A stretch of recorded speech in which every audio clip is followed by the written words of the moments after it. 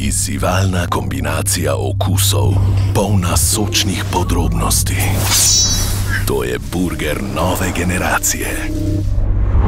To je ena in edina Juicy Jane iz družine Master Burgers, samo v McDonald'su.